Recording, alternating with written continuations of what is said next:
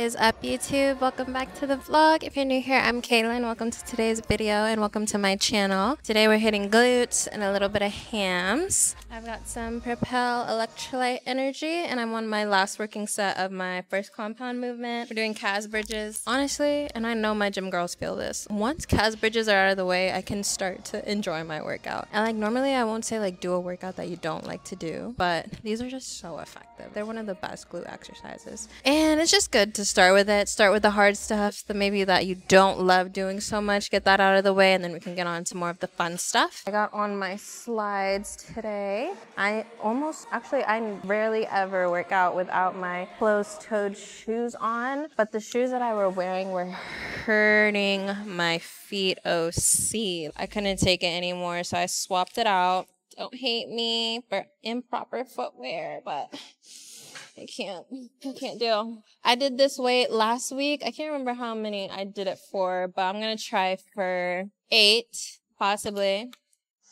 I had a Celsius like an hour and a half leading up to my workout. I've been really obsessed with Celsius lately, which is not good. I've never been too crazy on the energy drinks, but I've had two Celsius a week these past two weeks, which is kind of crazy. But it's doing its job because I was super tired before, but I'm ready to work out. So let's do this.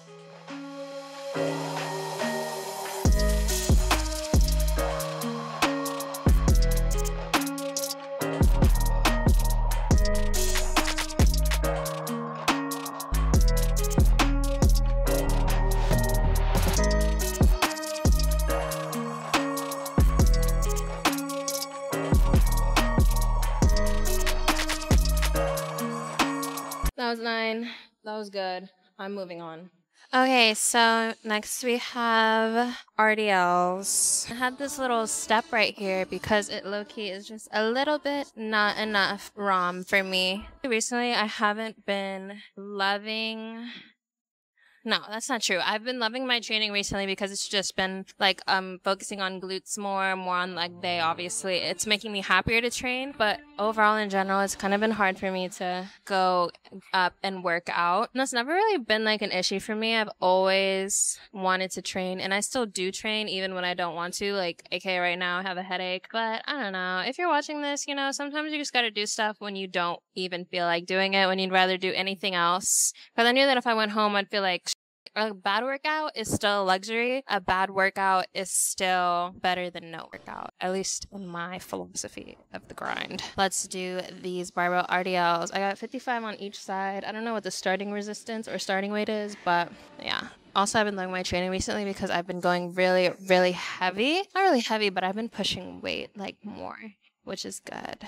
What's not good is I don't even know if I'm cutting or bulking right now. I haven't tracked my macros or weighed myself in so long. So I think that's to be my focus coming up soon. Let's do this set. I'm to go a wider stance than I normally do. Normally I would do like a bit of a narrow stance, but I kind of just want to do a wider stance, try it out.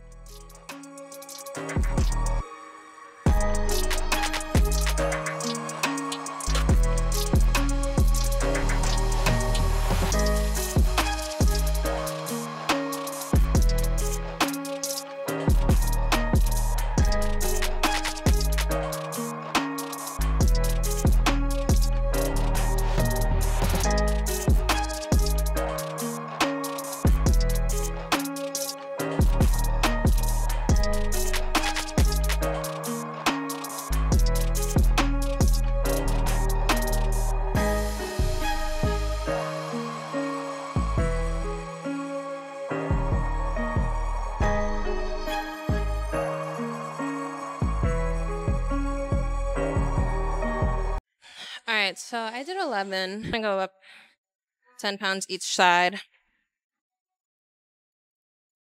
Actually, it. let's do 25 each side. The wider stance felt good as well, so we'll keep it there. Let's try it. I'm only powered by a honey stinger, my Celsius, and a halo that I had like two hours ago. And I'm wondering why I have a headache when I'm about to hit this leg day. But sometimes when you're not fueled, as ironic as it seems, it's like some of your best workouts. So only our second exercise in, so we'll see if it's good or not. But let's do this.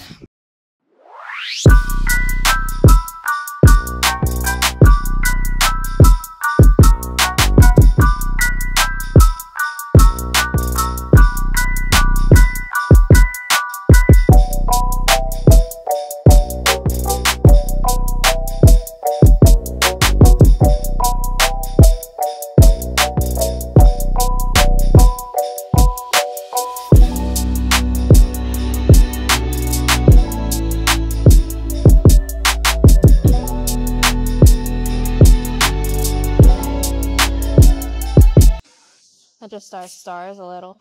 So next we're doing step ups. I'm trying out this machine. This is the Atlantis step up machine. I just tried it out for my first working set.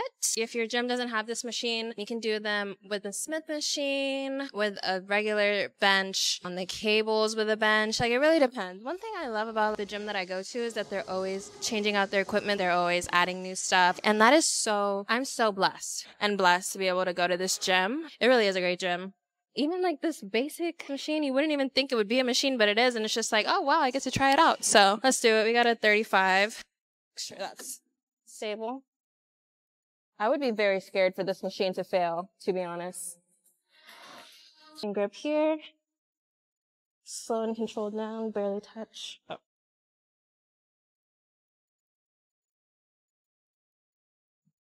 Okay. That side was not so good. I felt like I felt that all up in my back. Let's try again.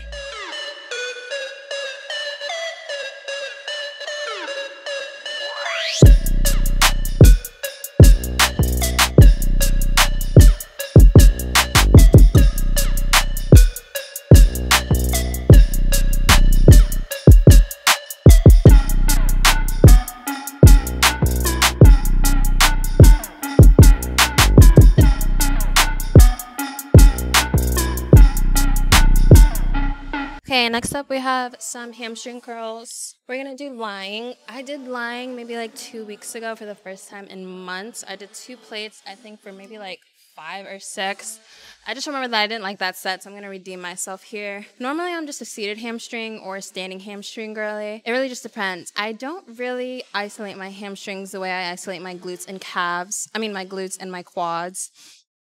I do need to be hitting more calves to be honest wellness bodybuilding girlies. They hit legs four times a week and they isolate each.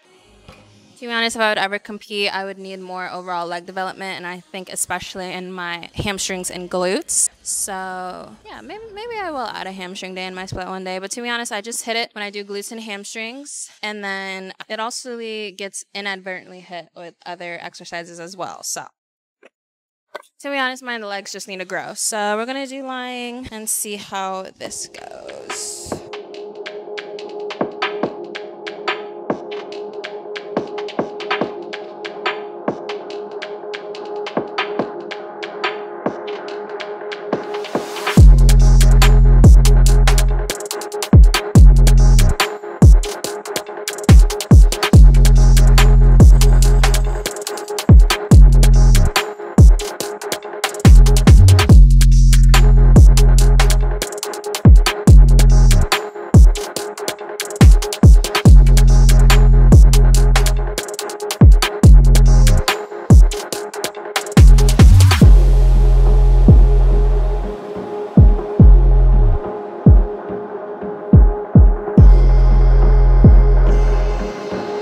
Too bad. I feel like I had some trouble finding my tension. Another set, I did partials which is great. If you're struggling with like plateauing, struggling to get past the weight, do partials, which is basically just like half reps or partial reps at the end of your working set. Just basically squeezing out as much ROM as possible until you literally can't anymore. Go up like five pounds and do this correctly, keeping constant tension while I'm going down, and we'll have a better set for this next one. So let's do that. I did the best working set for my second set, and I forgot to record, so now my third set has to be even better. But we did just go to failure, so let's do that one more time.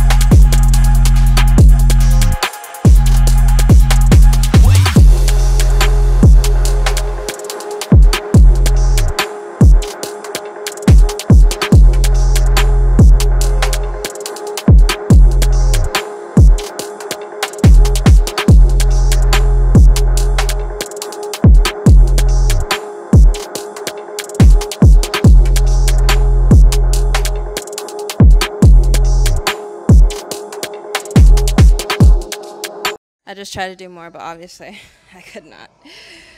Let's move on. Next, we have good old fashioned kickbacks. Y'all already know the deal with these. Take your isolation movements seriously, especially for aesthetic purposes. I'm really trying to grow that shelf, you know, like I really want more upper glutes. I could be hitting glute medius kickbacks more. I could be doing better Kas bridges, and I could also be doing maybe glute biceps hyperextensions. I feel like I should do that more often. Am I being very critical of myself? No. Am I? I mean, you could always be doing more, right? You could always be bigger. You could always be more muscular. You could always be better. So. But at the same time, I'm not a self improvement project and I'm very happy with my physique. But such is life. Let's do these kickbacks. I feel like two weeks ago, I was never a take off my shoes type of girly. And now I'm, my past few videos, I've been all in socks. I don't know who I am anymore. I know I'm that though. With these ones, I have to touch my glute for that mind muscle connection. It just makes sense that way.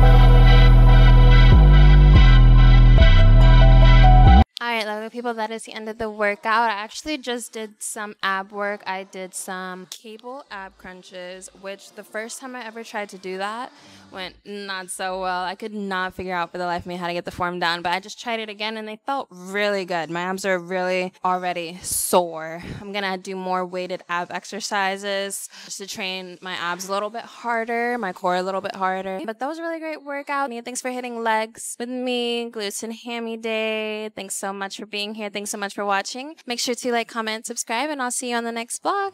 Bye.